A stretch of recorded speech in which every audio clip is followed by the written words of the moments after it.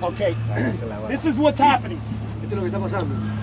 When you have a sense or some form of control loss, fear, pierdes el control, el miedo, fear starts to enable the body's control. el miedo comienza a tomar posesión del cuerpo. So one person said, I had the blindfold on and I was scared to move.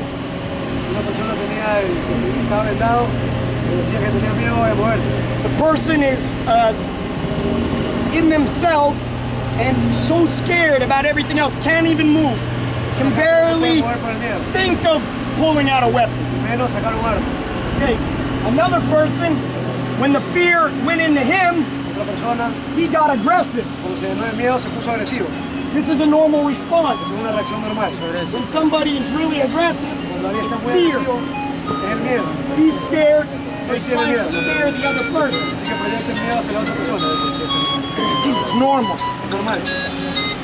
Another person said, it's okay, I'm just gonna go like this and not worry. usó sus manos para alejarse de los problemas. That is closer to the most natural way to be. Eso es lo más cercano a la reacción natural de enfrentar este problema. So, uh, you had no blindfold, no restriction. What, No tenía ningún vendaje ni restricción. what did you feel? ¿Qué es lo que tú sentiste? al momento meterme ahí a lo que me decían ahí rápido y hacer los movimientos rápidos tratar de cuidar a la persona para no chocarme con alguien que vaya a pasar algo. So even without any handicap, he still was under anxiety and was unable to move the best you could. See? Inclusive él que no tenía restricciones estaba con ansiedad y se le hacía difícil moverse entre el grupo.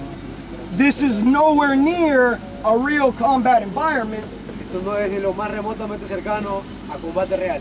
But if this scared you and this made it so you were apprehensive and you couldn't move, Si esto te dio ansiedad y que no te podías mover, it's going to be real hard to move when an artillery round goes off 40 feet away. Es mucho más difícil moverte cuando la artillería eh, comienza a funcionar eh, 40 metros alejado de ti. You're going to go into what we call fear shock. Vas a entrar en shock de miedo. Muy fuerte, ¿sí? Él fuerte. very strong. But if he gets scared, he cannot move. Si pierde el miedo, no se puede mover. He froze and couldn't move. See? Él se congeló y no se pudo mover. Because he got scared and he held his breath. Respira- tu- And the body gets respiración por el stiff, miedo. Y te heavy. pusiste fuerte, tenso. This is what happened to every single person here Eso es lo que le pasó a todo el mundo aquí, just trying to avoid walking into your friends. solo por tratar de evadir, caminar contra tu amigo. O sea, What are you going to do when it's really scary? ¿qué vas a hacer cuando en verdad sea una situación de miedo? Now he still doesn't want to move. Ahora tampoco te quieres mover. You see?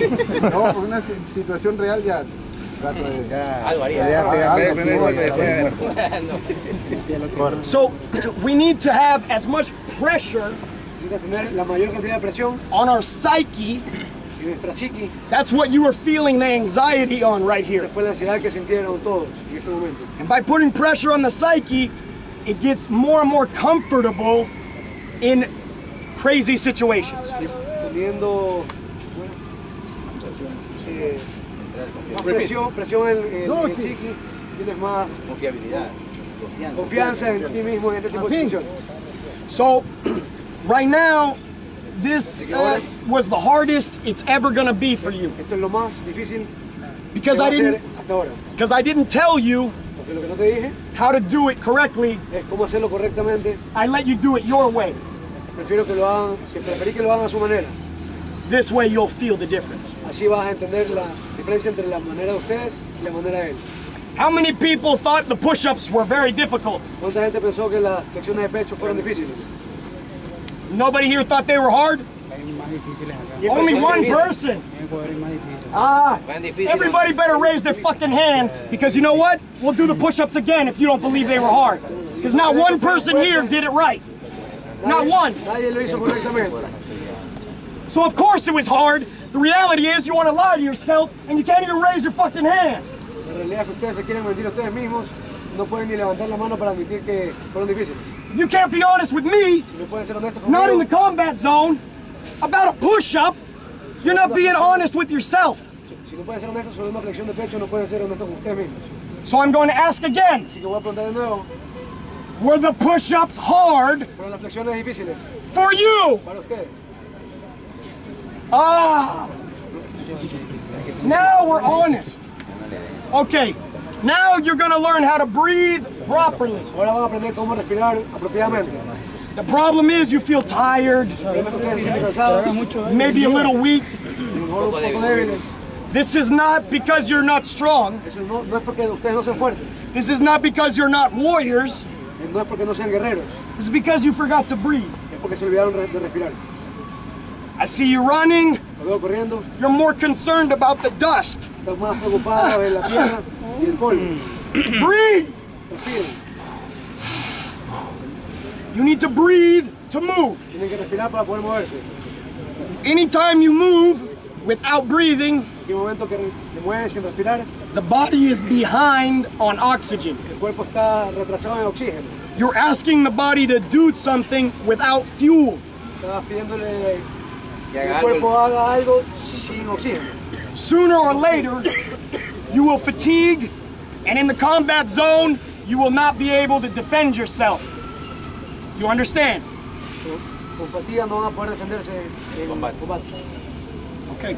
So, from this point on, you're gonna breathe in your nose, De ahora en adelante van a respirar por la nariz out your mouth. y exhalar por la boca. Everybody do it.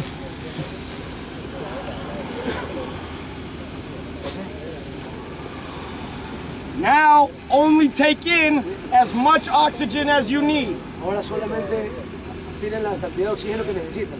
This means that when you feel your chest raising because it's too much oxygen, Cuando tu pecho se infla porque es demasiado oxígeno, you need to not go to that level necesitas parar de respirar, o sea, ya no sigas respirando, sino solamente hasta ahí. because that's tension also. Eso también es tensión. You take a you take a deep breath and sometimes you can't let it out. A veces no lo puedes dejar de salir por la tensión que Varela da sabe inglés. de meter tanto oxígeno. Dile Gatorade, So, we're gonna do the push-ups. Vamos a hacer las flexiones de pecho. You breathe with the movement. Van a respirar con el movimiento.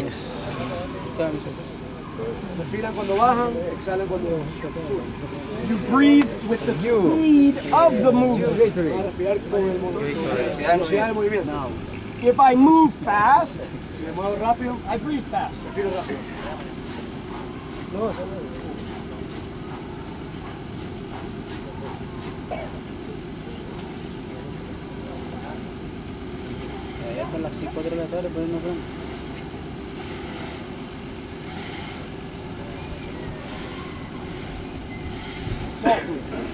That is with a full breath for a full movement. Respiración grande, un, lenta, pero un movimiento lento. We're gonna experiment. Vamos a experimentar. You're gonna do 10 push-ups, Vamos a hacer 10 flexiones, breathing correctly. respirando correctamente. Please get space. Por favor, toma espacio. We're gonna begin in three, Vamos a empezar en 3, two, 2, one, on your face. 10 push-ups. On your own breathing. Go. Al ritmo de la respiración. Whatever your speed is, Al ritmo que ustedes quieran. feel yourself. Siéntanse ustedes mismos. Feel the difference between fast and slow. Find out where it feels good.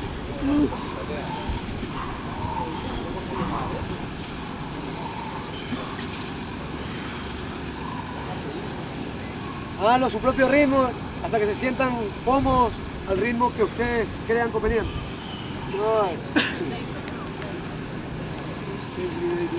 Now, yes.